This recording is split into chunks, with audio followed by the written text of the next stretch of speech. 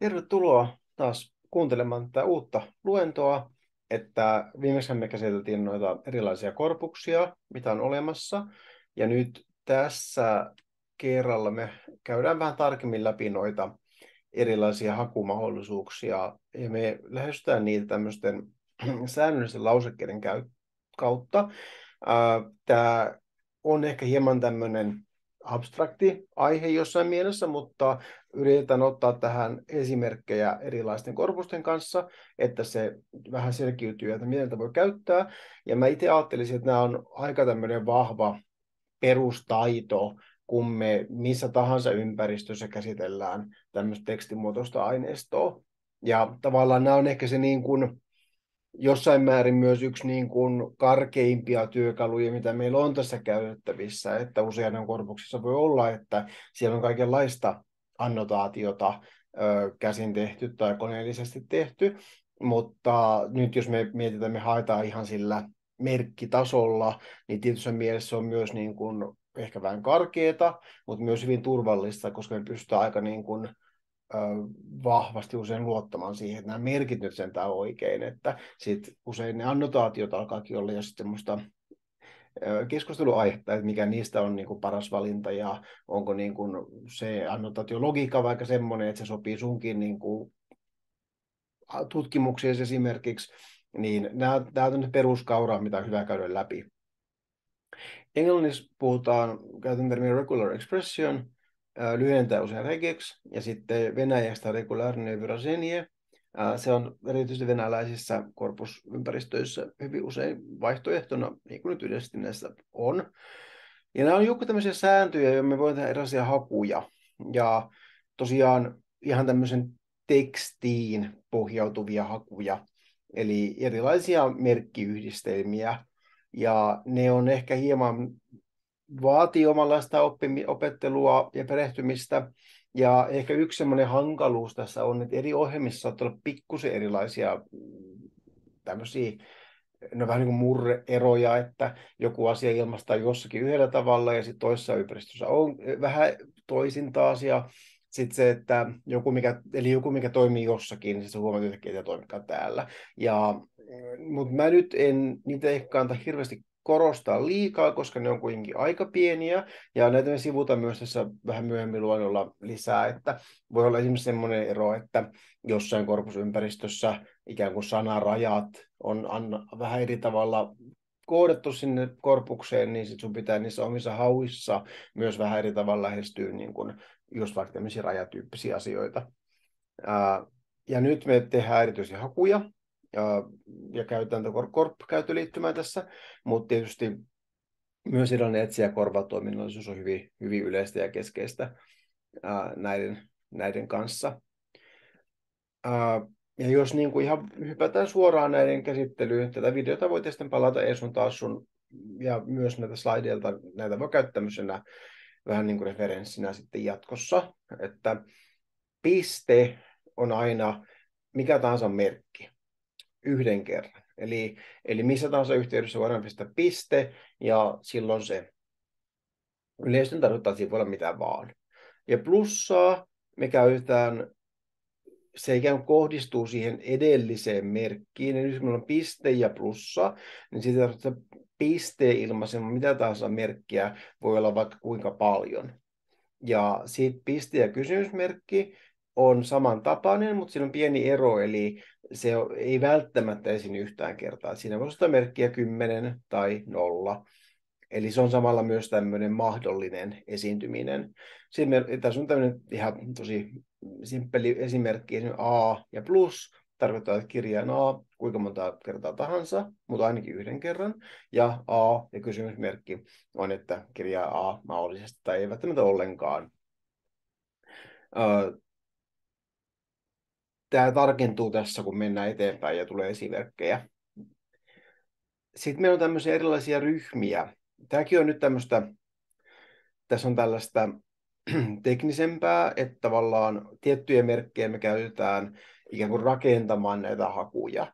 Ja sen takia meillä on myös tiettyjä asioita, mitä tehdään vähän eri tavalla. Tämmöinen pystyviiva ja sitten sulut sekä tavalliset sulut että nämä hakasulut on molemmat käyttäviä, ja myös kaarisuluilla on omia merkityksiään. Mutta käytännössä jos me laitetaan, tämä voi ajatella vähän niin, niin että tässä on niin yhdellä puolella joku asia ja toisella puolella joku toinen asia. Eli tässä me haetaan kissaa tai koiraa. Ja se on niin kuin sana tämä kokonaisuudessaan tai tämä kokonaisuudessaan. Hieman samaan tyyliin meillä on tämmöisiä vähän erilaisia joukkoja tai ryhmiä, mistä tulee seuraavalla vähän lisää. Eli me ottaa niin kuin hakasulkuja A tai B, niin sit se tarkoittaa niin kuin, tai B, niin se tarkoittaa A tai B. Jos sitä vähän yritetään konkretisoida, niin esimerkiksi haku kissalle, kissalla, käytännössä tarkoittaa, että etsi sanaa kissa ja etsi kahta eri muotoa siitä. Ja sitten niitä voi yhdistellä käytännössä loppumattomiin, eli meillä on täällä koira, kissa ja LLE, LLA, koiralle, koiralla, kissalle, kissalla. Eli me saadaan hyvin kompaktisti kirjoitettua aika isoja määriä niin kuin lopu, hakutuloksia, mitä me sitten saadaan sieltä. Mutta tietysti tämä ei nyt ole niinku ihan autuaksi tekevää. Me huomataan tässä, jos me laitetaan mäyrä, niin yhtäkkiä me tarvitaankin hirveä määrä, tai siis täällä alkaa tulla virheitä, koska me tarvitaan niinku, ottaa astevaihtelua mukaan. Se on tietysti aika mahdollista, me voidaan laittaa lisää kamaa tänne, tai me voidaan kirjoittaa niitä auki, niin kuin näitä aiempia aiempia tämmöisiä oppimia konventteja hyödyntäen, että niin kuin, laitetaan ne A ja Ä omiksi varianteikseen. Tässä ei ole mitään sellaista, niin kuin vaikka kielitutkimuksen välillä puhutaan, että mikä tahansa vokaali, että tietysti voi niin kuin tehdä semmoisen vokaaliryppää, minkä sitten silloinhan sen ajaa sen, ja meillä on tuossa myöhemmin semmoistakin esimerkki. Mutta tota, tässä vaan halutaan niin kuin havainnollistaa tätä peruslogiikkaa, ja, ja aika useinhan me ei välttämättä niinkään tehdä sitä sanojen, vaan just morfeemien tasolla tai sitten sanayhdistelmien tasolla. Ja näitähän voi paljon yhdistää sitten niissä, kun tekee hakuja vaikka, vaikka korpissa sitten, että sä haet niin kuin osittain vaikka niiden annotaatioiden kautta, että vaikka just niin kuin aiemminkin me oli esimerkkejä tämmöinen, että mikä tahansa postpositio tietynlaisessa kontekstissa, ja sitten jommassa kummassa niin kuin haun osassa voi olla esimerkiksi merkkipohjasta hakua yhdistettynä sitten johonkin automaattisesti tehtyyn, että haetaan niin kuin vaikka suoraan sit sillä vaikka sanalokatäkillä. Ähm, tosiaan tämä vähän toisen tyyppinen ryhmä, mikä tuossa vähän vilahtikin toi yksi A ja B-esimerkki, niin me voimme myös hakea tälle, jos me laitetaan ne hakasulkojen väli A-Z, me saan kirjan välillä A-Z tai Z. Mutta tämähän on myös semmoinen, että tota, täytyy huomata, kun hakee suomeksi, niin meidän täytyy myös ää ja ö pistää erikseen sinne. Eli hyvin usein kaikissa säännöllisen lausekkeiden oppaissa on, että joo, että laita A-Z tai mikä taas kir- pieni kirjain, mutta käytännössä se ei ole mikä taas pieni kirjain, niin huomatkaa että tosiaan, jos me haluttaisiin hakea isoja kirjaimia, tarvittaisiin vielä niin kuin isot kirjaimet A-Z sitten ja ö myös sinne. Ja tosiaan Kyrilliikan puolella meillä on myös vähän tämmöisiä omia hassuja konventioita, että niin kuin A-viiva jaa, okei, se on kaikki kirjaimet tonne asti, mutta käsittääkseni joo ei ole vielä siinä seassa.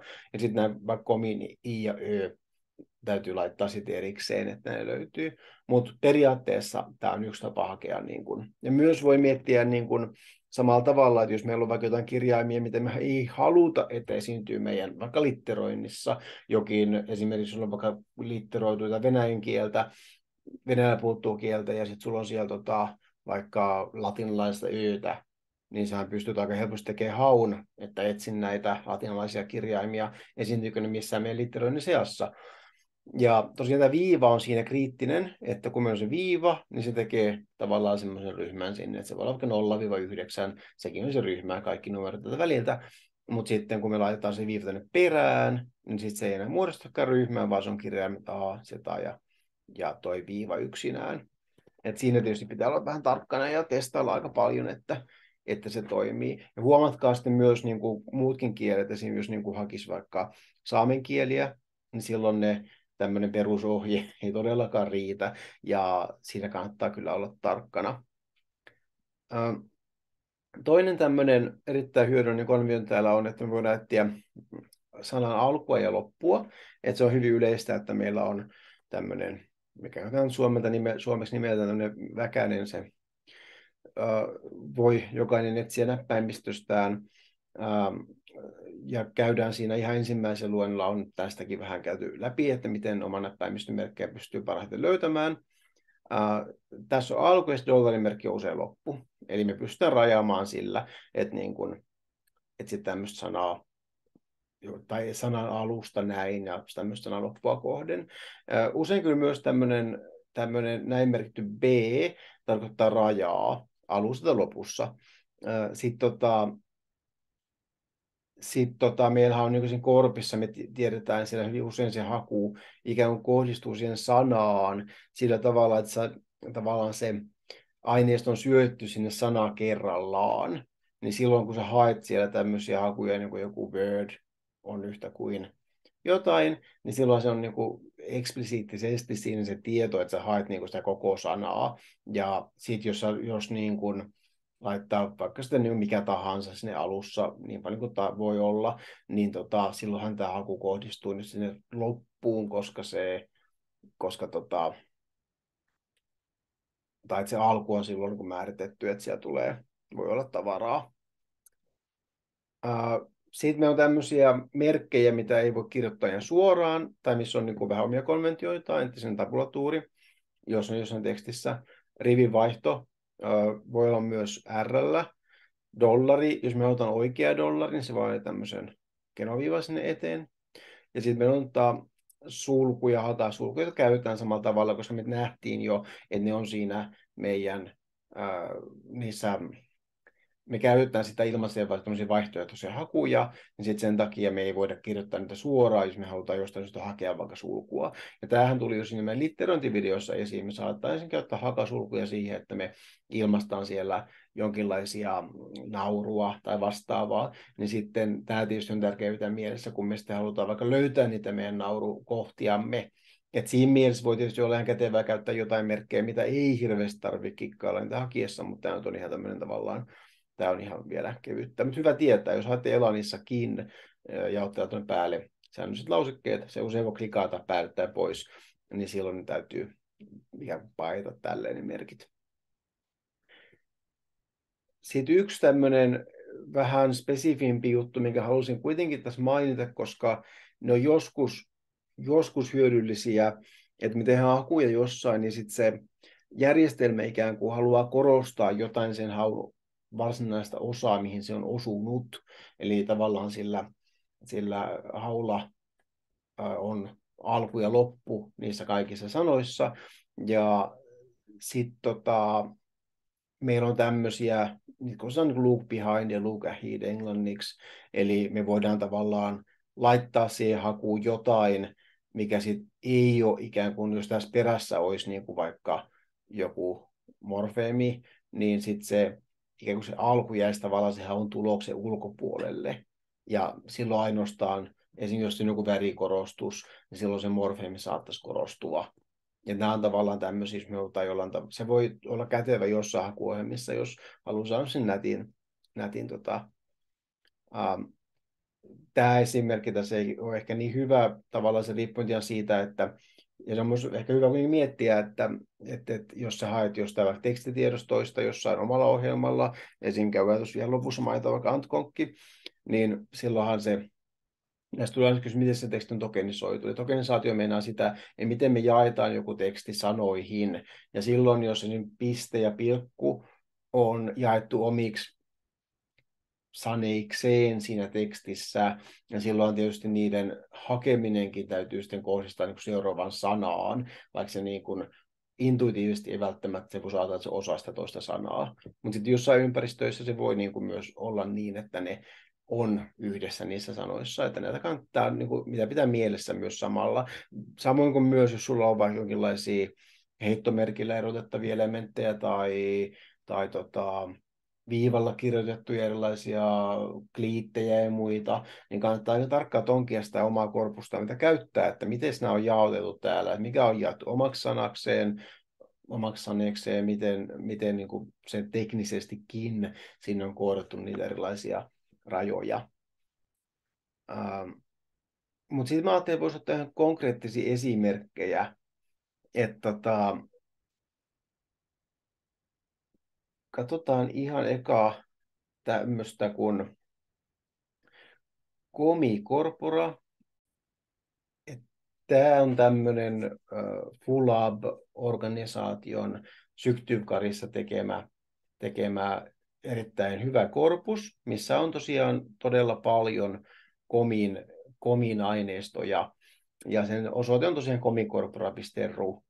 Ja sen käyttöliittymä on ainoastaan venäjäksi. Itse asiassa meillä ei täällä edes olla komia valittavan, mikä on tietysti nyt harmillista, mutta, mutta toisaalta on hyvä niin kuin oppia pärjäämään näiden kanssa, koska eihän ne ole niin vaikeita sitten kuitenkaan. Et meillä on täällä niin kuin sana, ja täällä on myös tämmöinen näppäimistö, minkä saa ilmaantumaan. Kuten nähdään, tässä on nyt itse asiassa tämmöinen, tämmöinen tota, yhdenlainen Venäjän järjestyksen pohjautuva malli tai asettelu, mutta sitten sitä voi olla, millaisia hakuja tekee. Eli täällä on juuri se, kaikki variantit, juuri sellainen sana, sanan alussa, sanan keskellä, sanan lopussa. Sitten täällä on tämä säännön lauseke, ja lemma, eli haku, sanan perusmuodon mukaan. Tämä on sitten yleensä vaarallista, jos tarvitaan perusmuodon mukaan, niin se hyvin usein tarkoittaa, että se on automaattisesti analysoitu, että se perusmuoto ei välttämättä pohjaudu ihmisen työhön. Ja sitten tämä fraase on siinä mielessä kiinnostava, ja usein onkin vähän samantyyppisiä vaihtoehtoja, eli tässä tarkoitetaan sitä, että sä et tavallaan hae sitä niin saneiksi pilkottua tekstiä niin kuin sana kerrallaan, vaan se haetaan sieltä niin kuin pötkönä sitä koko lausutta merkkionona. Se voi olla kätevä jossain tilanteessa, koska tässä ei tavallaan tässä käyttöliittymässä ei voi tehdä sellaista moneen sanan hakua muuten. Mutta tosiaan toimien esimerkkien tässä oli, oli että komiin, äh, meillä on komissa, komissa on tuota, kuten yleensä meillä on kyrillisen, kyrillisissä ortografioissa tietysti on tämmöinen patalisaatio, että meillä on niin kuin in ja in vaihtelu, tai kahden eri grafeemin vaihtelu, kun ilmaistaan iitä. Ja sen näkee, että niin tämä on nyt just tämä niin kuin AB-kikka, vähän niin kuin tuon turhaa tuossa. Eli me haetaan nyt tässä merkkiä i tai i vaihtoehtoisesti.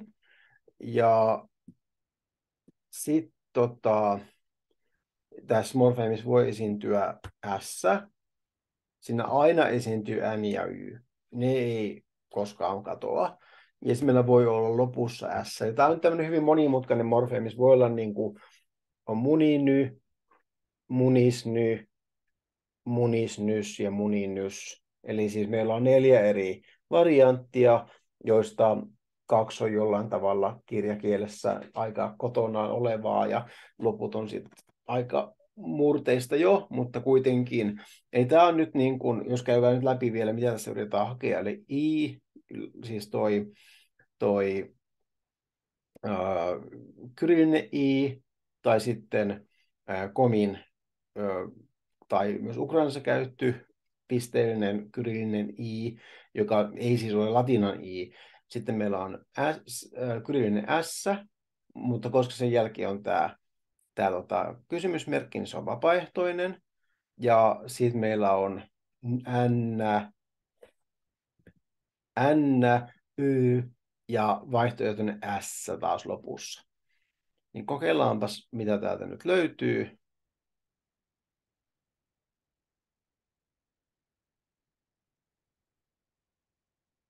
Sieltähän se tulee velodlisny matematiikkaa, zvönitsisny, mykösornitisny, juasisny, vitsmödisny, vostisny, juortisny. Eli me niin kuin saatiin just sitä, mitä me haluttiin. Eli, eli tota, tästä nyt nopeasti näkee tämä i-vaihtelu, ne molemmat muodot tulee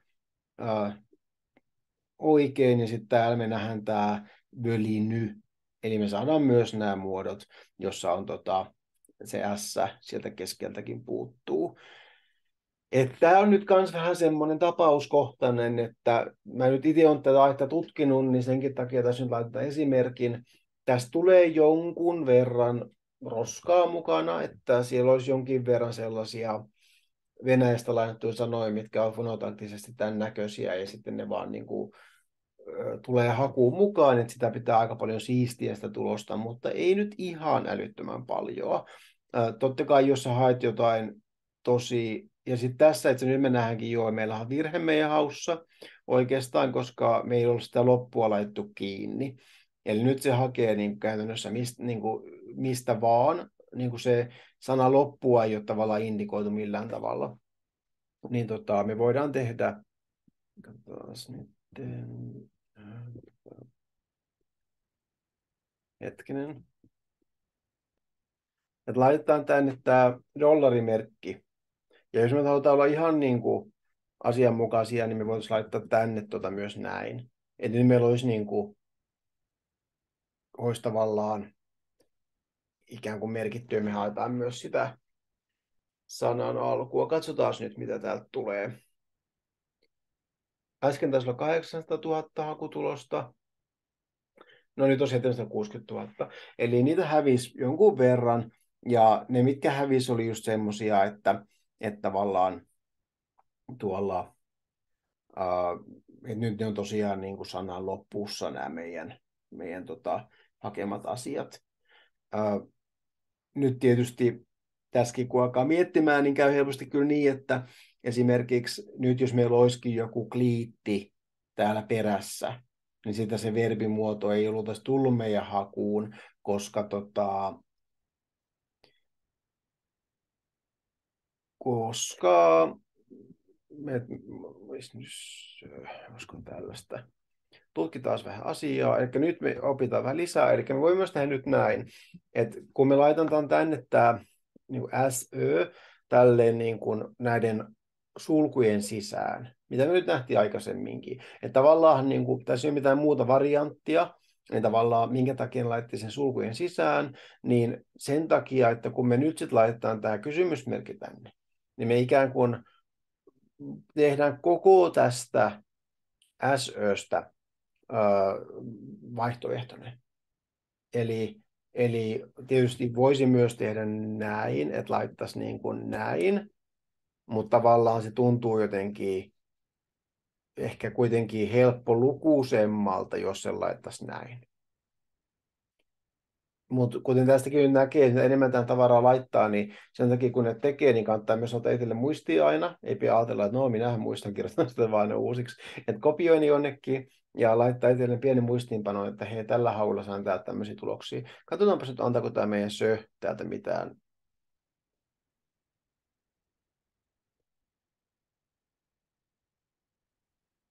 tässä menee noin viisi sekuntia. No ei se aika rikki mennyt, mutta tota, tosi nythän me ei myöskään nähdä, niin kuin mitä, täällä, mitä tämä S oikein sis, sisälti, ja tämähän oli oikeastaan tosi hauska. Katsotaanpas nyt, mitä tämä on. Nyt me poistettiin se vapaaehtoisuus, eli nyt se antaa vaan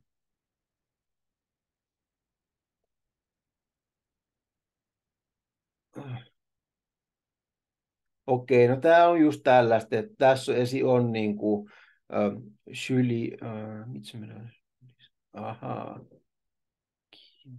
Se...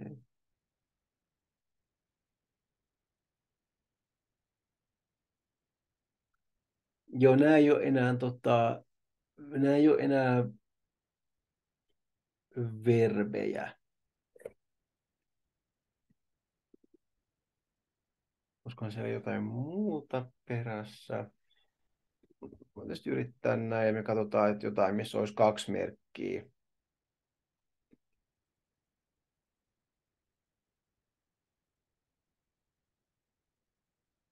No sen tässä me nyt löydettiin yksi kliitti ja meillä on tämä Olo Disney A. Niin me voimme tietysti sitä A niin kuin tilannetta esim. vähän tutkia ja laittaa niin kuin tämä, mutta tämä on niin kuin tämmöinen, niitä löytyy 514, Vylinyä, Vylinyä, Gislisnyä.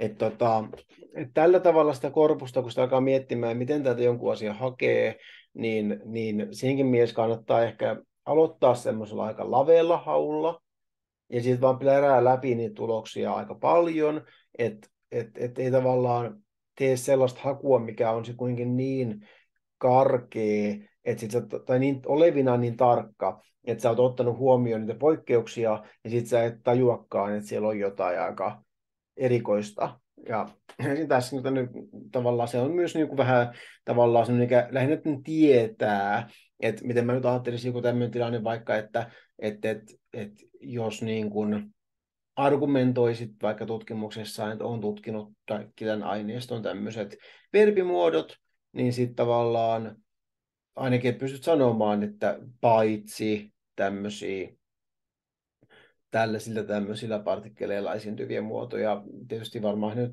käytännössä kiva olisi ottaa mukaan, mutta että niin kun mieluiten tiedetään, niin kun, mitä siellä on. Mutta tämmöinen on komikorpora, ja täällä pystyy myös sitten valitsemaan raamaa, lehtiä, runoutta, folklorea ja muuta. Et siinä mielessä on kyllä erittäin hienoa. Tämä on äärimmäisen tärkeä korpus myös, ja varsinkin tässä niin komin kielen niin kun lähteenä aika mahtava. Täällä on myös hyvin paljon vanhempaa materiaalia, ja sitten tässä tulee nämä niin kun, tiedot, mistä julkaisussa se on. Kuten näette, tämä on tosi tuorettakin aineistoa, eli ihan niin kuin itse asiassa muutama vi- viime vuoden loput tullutta, mikä on myös ihan hienoa, ja pystyy aika niin kuin hyvin seuraamaan, mitä tapahtuu. Ja sitten on tämä sohnainen resultaatti, tässä pystyy tulostamaan niin sun tulokset, mikä on myös tietysti aina, aina hyödyllistä ja toivottavaa. Mutta siirrytään sitten tästä tuohon korpin puolelle. Joo, eli tämä korppi, täällä me käytiinkin ihan nopeasti tuossa aikaisemmin, ja tota, tässä tosiaan näkee hyvin kaiken tämä aineistomassan, mikä täällä on, vähän niin kuin miten ne on ja, jakautunut tänne. Tämä aika pitkälti kuvastaa ne toisaalta niin kuin digitoinnin tilannetta ja sitten niin kuin mistä, minkä ikäisiä aineistoja on, on olemassa myös, mutta ehkä niin kuin vähemmän sitä, että varmaan tämä niin kuin tuore aineisto on jollain tavalla vielä niin kuin tässä saavuttamattomissa. Mutta kyllä kannattaa tutkia myös näitä, millaisia aineistot on. Että tota, tämähän on tosi, kuten näette, melkein tuhat korpusta. Tosi osa on esimerkiksi jaettu vähän silleen, että että jos mä ymmärrän oikein, niin juurikin, että esimerkiksi Ahtisaari ja Alosen uuden vuoden puheet on nyt niin kuin eri korpuksina täällä, mikä on ihan, ihan hyvä ja niin kuin varmasti järkevä juttu, niin pystyy filtteröimään tällaisten valintaansa, mutta ei tosiaan ei kannata säikähtää, tuota, että ihan tuhannesta tarvitse valita. Sitten meillä on eri, eri no, täällä on, niin kannattaa itse jokaisen tutkia. Mä itse nyt erityisesti harrastan ne puheaineistoja, että nämä on tota, yksi semmoinen, ja sitten tota, sit täällä on nämä lehti- ja uutisaineistot, et kansalliskirjaston lehtikokoelma, suomenkieliset lehdet, on tosi hieno, hyvä aineisto, missä on, tota, missä on niin kuin vuosikymmenittäin jaoteltu tätä suomalaista lehtimassaa. Ja tämä on kyllä aika kätevä just semmoiset, jos halutaan tutkia vaikka niinku ilmiön historiallista muutosta. Se on myös hirvittävän iso, että siinä kestää aika paljon aikaa, kun sitä hakee. Ja sitten kirjallisuusaineistoista esimerkiksi tämä suomalaisen kirjallisen klassikoita on tämmöinen Suomen kansan vanhat runot,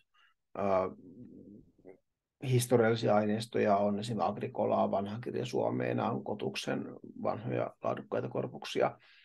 Mutta jos me nyt esimerkiksi otetaan sitten tästä vaikka tämä kansalliskirjaston lehtiaineisto, ja tosiaan toi meidän, meidän tässä oli, me käytiin viimeksi läpi tätä laajennettua ja edistynyttä hakua, niin tota, tavallaan toi, mitä me niin kuin meinattiin tuossa oli, että kun meillä nyt suomen kielessä on tämmöisiä vaihtoehtoisia taivutusmuotoja, niin, jotka on variaatiossa keskenään, niin tämä nyt on yksi tapa, ja me voidaan laittaa, että sana on omenien tai sana on omenoiden tai sana on omenain. Ja sitten kun tästä laitetaan hae, niin se lähtee hakemaan. Siinä kestää aika pitkään, mutta onneksi nauhoituksen voi pysäyttää. No niin, tässä tota, seitsemisen minuuttia meni aikaa, eli, eli pakko on ehkä hieman just suunnitella, mitä tekee, mutta toisaalta tietokonehan sen työn siihen taustalla tekee. Ja nythän me saatiinkin täältä aika paljon 2600 tulosta, että et, et, tämä myös kans on ihan silleen hyvä esimerkki siitä, että et vaikka meillä olisi kuinka iso aineisto, niin sitten tietysti, jos sä etit sitten tiettyä yksittäistä asiaa, niin et eihän tätä, jos 2600 esimerkkiä, niin kyllähän nyt lukee läpi silleen verrattain rivakasti, että et, et, ja myös jos ne vaikka analysoisi käsinkin jotenkin, niin siinä ei nyt ihan, niin kuin, kyllä se niin kuin tutkimuksen yhteydessä ihan kevyesti tekisi. Tosiaan me nähdään tässä heti, että se antaa nämä mistä tämä on tullut ja mikä, vuo, mikä vuotinen kuin osakorpus tässä on. Ja koska tämä on sellaista aineistoa, mikä on sekoitettu tänne, kun tämä on nykyaikaista aineistoa, niin on tämä lause kerrallaan, niin me tässä ympäristössä pysty näkemään koko sitä mm, kontekstia. Mutta nähdään kun aika paljon tässä, kun sitä klikkaa, niin päästään vielä katsomaan, että se on Länsi-Savoa ilmestynyt tällöin, ja sitten tota, millä sivullakin se on, ja sitten täällä on sanan piirteet, eli meillä on täällä sanalukasubstantiivi, morfologian analyysi. Ja tämä morfologian analyysi on sellaista, me pystytään myös hakemaan, niin me voidaan niin kuin, me voitaisiin voitu laittaa siihen, tai kaikki sanan omena, monikon genetiivit, mutta sitten, no se onkin ihan hyvä, sitä voisi testata, että periaatteessa tuleeko ne kaikki, onko ne kaikki analysoitu samalla tavalla, mahdollisesti on, mutta tota, sitten on myös tämä dependenssisuhde, mikä näkyy tästä, kun me klikataan näitä dependenssipuu, ja se piirtää tämmöisen automaattisesti luodun, luodun puun siitä. Sitä kannattaa tutkia hyvin tarkkaan, että miten, miltä se vaikuttaa, mutta ne ei välttämättä ole kyllä huonoja. Et esimerkiksi täällä voi olla tämmöiset subjektyyppiset suhteet, objektityyppiset saattaa olla jo hyvinkin kohdallaan, niin ne voi käyttää niissä haussa, kunhan aina tarkastelee ja miettii, että onko nämä nyt oikein, onko nämä riittävän oikein mun tutkimukselle. Mutta se, mikä ehkä enemmän kiinnostaa, me nyt nähdään esimerkkejä, ja tämä on tietysti jo hirvittävän hyödyllistä, mutta sitten meillä on täällä myös, me saadaan näitä tilastoja.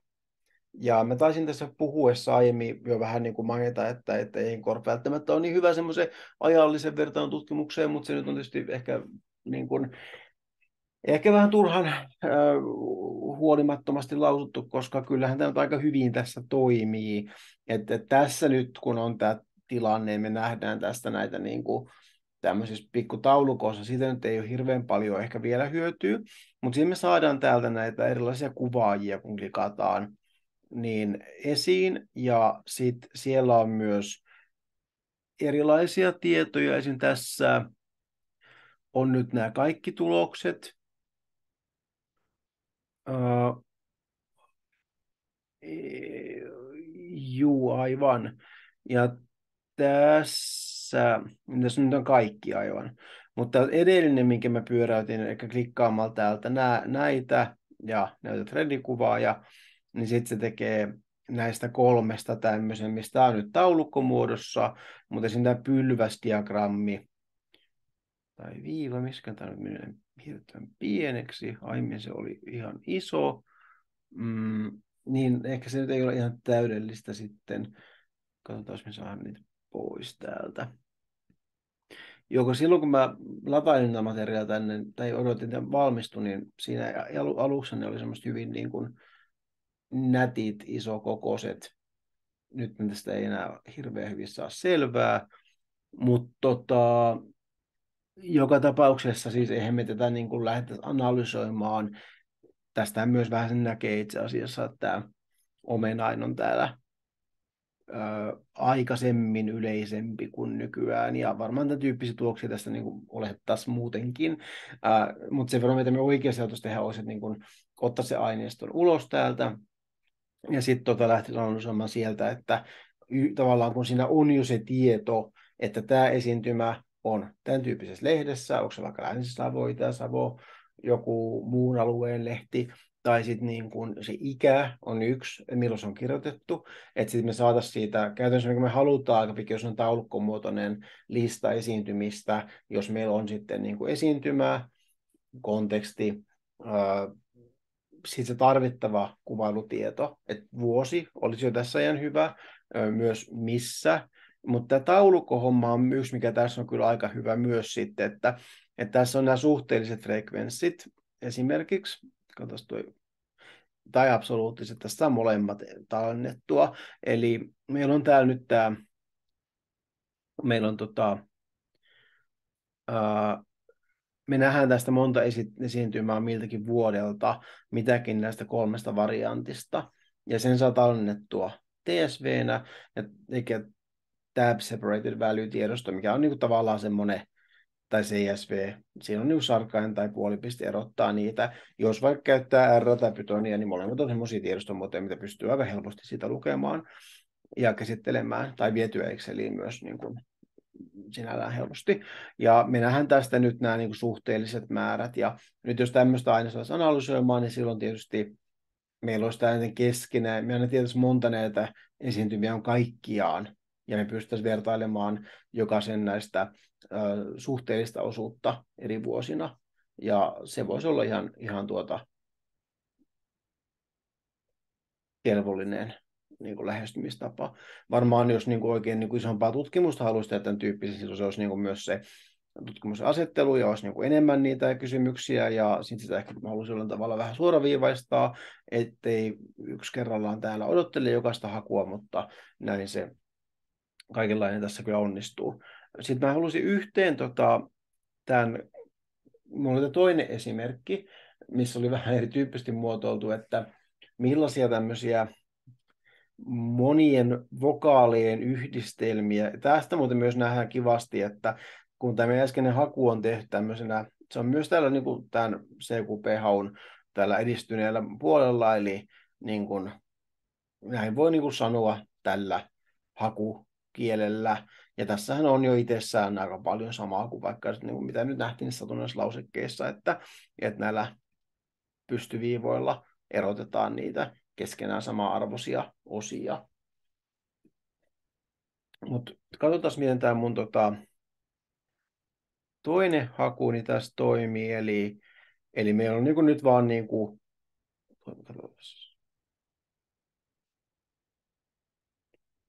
tässä ehkä Juu. Tähän antaa tosiaan heti, tämä, mutta joo, tämä, onkin, tuota, tämä antaakin nyt tämän, tota, näyttää vähän tätä ehkä tietynlaista todellisuutta ihan sen takia, koska me kuitenkin työskennellään vanhojen, no tämäkin on 2000, vuosi 2000, mutta siis kun tämä on tämmöistä, tästä me nähdään, täällä on tämä tekstin tunnistuksen tämä todennäköisyysarvo, niin jos se on jotain muuta kuin 1.0, niin silloin siellä on varmaankin jotain hassua. Että tota, laitetaan taas pausille tämä meidän nauhoitus hetkeksi ja sitten katsotaan, mitä täältä on tullut. Joo, nyt tämä haku valmistui kunnolla ja lähinkin kyllä tekemään jo saman tien päällekkäin kilpailevaa hakua, koska tämä tosiaan oli ehkä vähän turhankin nyt tässä valittuna vaan näitä kirjallisuusaineistoja, eli alun perin ajatuksena oli hakea just tämmöisiä ui, ui ää, niin kuin tämän tyyppistä. Lähinnä vaan niin illustroisin tämmöistä, miten tämmöistä haut niin kuin toimii, että esimerkiksi hyvinkin niin kuin, se, mikä täältä sitten kanssa löytyy tosiaan, on nämä niin kuin virheet. Että tässä sinnehän minäkin onko tästä iloa lyöden alun perin. Sitä voisi tietysti tutkia sitä lähettä. Ja tämähän on vanha teos, että siinä mielessä näissä niin kuin on kaikenlaista. Mutta niin kuin, tavallaan mitä niin kuin, marginaalisempaan ja erikoisempaan hakuun me mennään, plus missä on vielä vähemmän semmoista kielellistä aineesta, niin sitten me helposti myös törmätään siihen, että siellä on kaikenlaista, mitä, mikä ei onnistu vielä. Et esimerkiksi totta kai jos se sun, jos sun hakusana on semmoinen varsinainen sana, mistä pystyt niin kätevästi, siis pidempi tai joku muoto, niin on hyvin epätodennäköistä, että joku ihan satunnainen asia näyttää siltä. Mutta sitten tosiaan täällä on hyvin paljon, sit tulee tämmöistä, että alkaa olla myös sitten niin kuin vanhaa vanhaa tuota tekstin tunnistusvirhettä nyt erityisesti, ja sen näkee täältä äärimmäisen hyvin, jos, jos etsitään semmoinen tota, nämä 36, katsotaan tuolta tota, ihan tuolta loppupäästä. Koska täällä on niinkin, että meillä on semmoisia materiaaleja tosiaan, tämmöisiä vanhoja 800-luvun, että tämä niin, niin ei kuul, tästä tota, täältä me löydetään, me nähdään, että OCR huono. Se on yksi tapa, mikä myös voi tehdä, voi niin kuin pyrkiä filtteröimään sitä aineistoa sen kautta, että et ottaa vaan ne, missä on laadukasta. Ja sitten on tämä näytössivukuva, kokeillaanpa nyt tässä näin korostettuna, niin se näyttää meille tämän lähteen, ja sitten me pystytään täältä niin kuin vähän tarkastelemaan, että mikä täällä nyt on tunnistunut väärin, niin että he kuullessansa, niin että, että tämäkin on semmoista, mikä paranee koko ajan, koska tekstin tunnustuksen kanssa tehdään koko ajan työtä, vanhat aineistot on niin kuin haastavampia, ja se kehittyy äärimmäisen nopeasti, että siinä mielessä tulee olemaan helpompaa tulevaisuudessa, mutta tämä on myös hyvä tämmöinen ha, niin kuin havainnosta sitä, että, että usein me pystytään myös rakentamaan näitä aineistoja silleen, että se varsinainen primääriaineisto on niin lähellä tai digitoitu versio siitä, ja me voidaan niin kuin, jos on tarve tutkia semmoista vähän vanhempaa aineistoa, jos on erilaisia ongelmia, me voidaan myös käydä tarkistamaan sitä sitten hyvin kätevästi ihan niin kuin näistäkin. Ehkä oman tutkimuksen kannalta voisi ajatella, niin kuin jos käyttää vaikka sitten korppia ja huomaa, että siinä omassa aineistossa sinne kannattaa tehdä hyvin erilaisia hakuja, että tavallaan hahmottaa sen, että mitä sieltä oikein löytyy ja millaisia kysymyksiä sillä voi olla. Ja sen tässäkin voi, niin kun, jos huomaa vaikka, että täällä tuo 800-luvun puolella on enemmän tunnistuksessa ongelmia, mutta ehkä se tuo 800-luku, jos olisi sun kysymykselle niin relevantti, niin sä voit niin kuin etsiä sieltä sellaisen kohdan, että millä vuosikymmenellä alkaa olla niin kuin aika tavallisen näköistä tekstiä, ja sitten päättää, että tutkinpa, valitsen tutkimusaineistoni rajautumaan siitä alkaen. Tämä on mistä puhuttiin vähän aikaisemminkin, että miten me niin kuin myös pyöritellään tutkimuskysymyksiä pikkusen aineistojen valossa, että mikä on mahdollista. Ähm, ja sitten toisaalta yksi, mikä voi olla, että, että jos sen sitten ottaa niin kuin laajemmin se niin sieltä voi tehdä erilaisia pistokokeita ikään kuin, että ottaa niin kuin sitten testailee eri kausilta, että miltä se näyttää erityyppisistä lehdistä vaikka, tai kirjoista, mikä se onkaan. Ja sitten sen pystyy kirjoittamaan siihen oman tutkimuksensa, että arvioisin, että näissä osissa aineistoa on tämän tyyppisiä haasteita ja se voi vaikuttaa analyysiin ja tuloksiin näin ja näin ja näin. Että tavallaan et, et, et, vaikka maailma ei ole kovin täydellinen, niin me voidaan mun mielestä käyttää näitä erilaisia aineistoja, kunhan me yritetään vain tiedostaa ne niiden reunat ja nykytila ja sitten niin kuin jollain tavalla käsitellä sitä siinä meidän, meidän niin kuin työssämme. Uh, mä tein vähän toisen tyyppisen haun tänne näihin kirjallisuusjuttuihin. Täällähän tosiaan tuli niin kuin tämän tyyppistä vaikka, mutta voisi kyllä sanoa, että, että tämmöisten, onko näitä ideofoneja ja mitä tämmöisten huudahdusten ui ui tyyppisten asioiden tutkiminen sitten on aika vaikea tällä hetkellä, koska se ei välttämättä ole niin kuin ihan helposti erotettavissa sieltä. Mutta sitten toisaalta, jos olet jonkun puhekorpuksen, niin tämmöiset on varmaan sinne käsiin koodattu aika tarkkaan, että siinä mielessä pystyy niin tekemään hyvinkin täsmällisiä hakuja. No niin.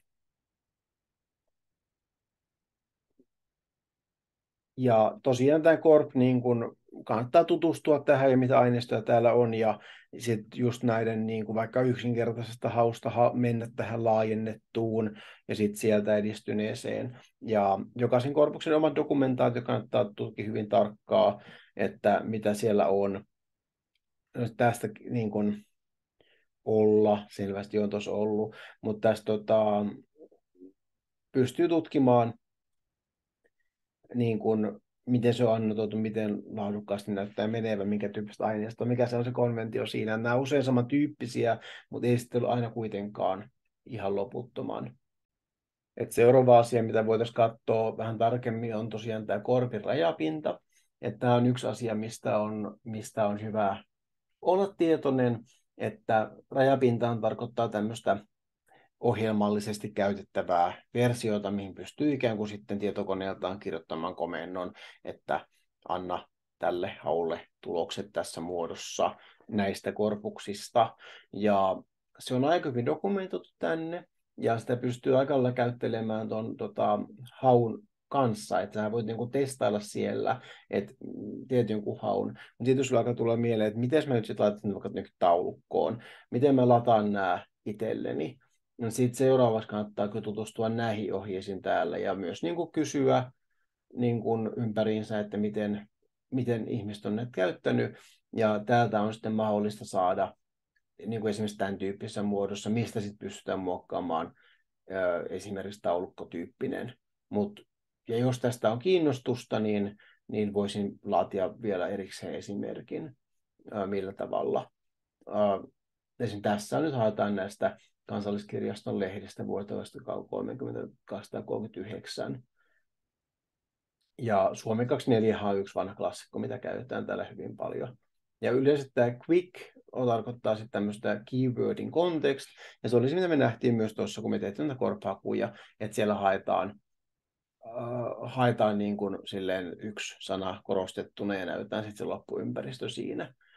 Ähm, ja täällä on esimerkkejä että tosiaan tähän toimii näin, että se niin kuin